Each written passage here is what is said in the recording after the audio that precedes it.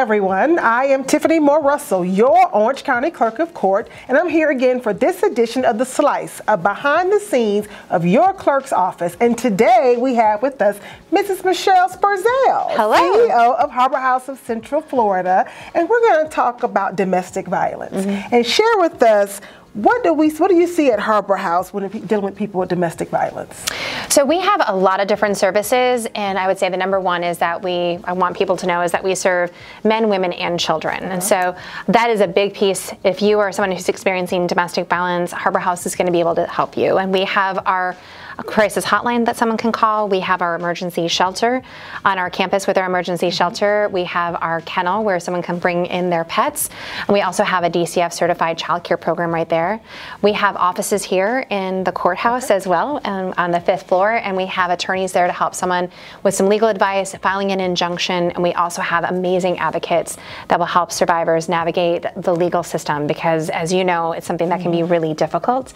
And then some of the other programs that I'm super proud of are the things that we have in our schools because we're really working to help stop violence before it starts okay. or break the cycle of domestic violence in the schools by having educational classes in the schools and really teaching kids about perseverance, understanding resiliency, how to have a healthy end to a relationship, how to um, really talk about what a healthy relationship is. And so we are doing a lot of work when it comes to domestic violence. Awesome. And so my next question was going to ask you all about your services, and you just shared those with us us. But I'm going to ask you to follow up on one. Yeah. Share with them what was the vision and why the kennel services? Why is that yeah. a big deal? It's a big deal because one of the biggest things we try and do is remove barriers to someone leaving a relationship. Okay. And um, some of those barriers would be when I have kids, what do I do? And so that's why we make sure that we have childcare on site. But at the same point in time, one of the number one reasons why someone doesn't leave is because they don't want to leave their pets behind as well.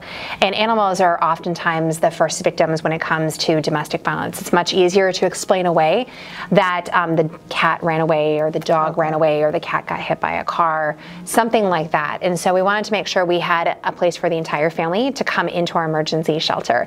And the Paws for Peace Kennel is really what we have to do that. And since we've opened, um, we average right around 30 to 40 pets that are okay. coming in with people every year. And we've had cats, dogs, We've had ferrets, we've had bunnies, we've had iguanas, we've had birds, we've had fish.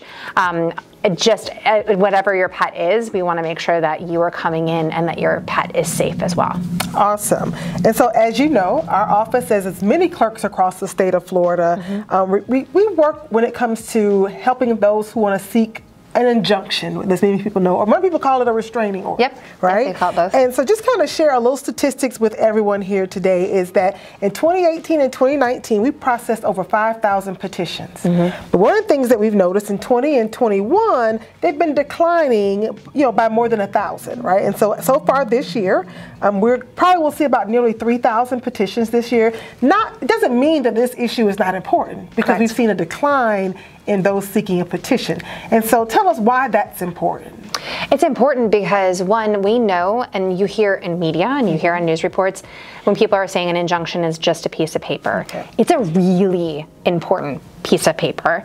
It's um, something that's really important because it's one of those levels of protection that someone can get when they're experiencing domestic violence, especially when you're trying to really show a pattern of behavior and a pattern of abuse. And it's one of the legal systems that we have in place. And so it's important to note that um, it's declining, and we also need to do more education so people know what types of injunctions are out there, what do you need to file an injunction, how the clerk and also how Harbor House and other domestic violence agencies work together to make sure that people know that this is a tool that you can utilize in order to be safe, be free, and also at the same point in time hold an abuser accountable.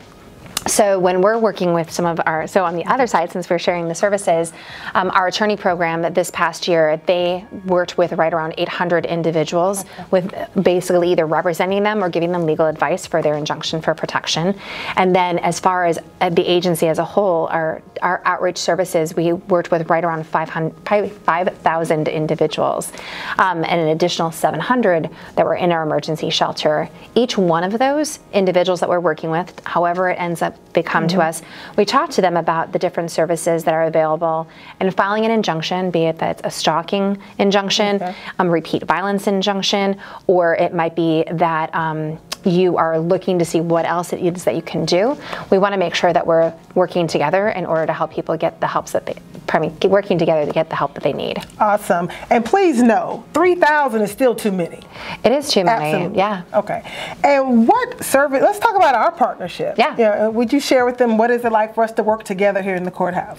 So our courthouse, I mean, as far as when we're working together, it's pretty great. Um, what we end up doing is that um, Harbor House is in a wonderful position that we have an office on the fifth floor. And so someone is coming in to the courthouse and they don't necessarily know where to go. They have two different locations within the courthouse to go to. You can go to the clerk of court's office to find out and get the information as far as what an injunction is. And then if they still don't know what type they want to file, since there are five different mm-hmm. types, they can be directed upstairs to the Harbor House okay. office and then we can sit down with an advocate and help them understand. We can help them um, with getting the referral right away to an attorney. And oftentimes, if it's someone who comes up to Harbor House and we find out that it's not intimate partner, it might okay. be neighbor on neighbor, and there needs to be an injunction filed, then we're able to refer back down and explain what's going on. So there's that. Um, we're able to refer people to your amazing self-help okay. area as well in order to have them have other help with different court issues. Awesome. So tell us more about your 24-hour hotline and where people can turn to if they need help. The the 24-hour hotline you can call or you can text there. That's one thing we added during COVID, and so that number is 407 886 2856. And I, what you can do is you can reach out to an advocate. It's manned 24 7. And it might be just someone who's reaching out to the very first time saying, I'm a, I don't know what I'm experiencing. I think that I need help. And that can be via text or it can be by calling and having a conversation with the advocate. And it's often their entryway into Harbor House. And okay. so it'll be having a conversation about what it's like to live in the emergency shelter, um, setting up and doing a safety plan, um, talking through what is an injunction and how do you set up an appointment in order to be able to do that or talk to one of our lawyers.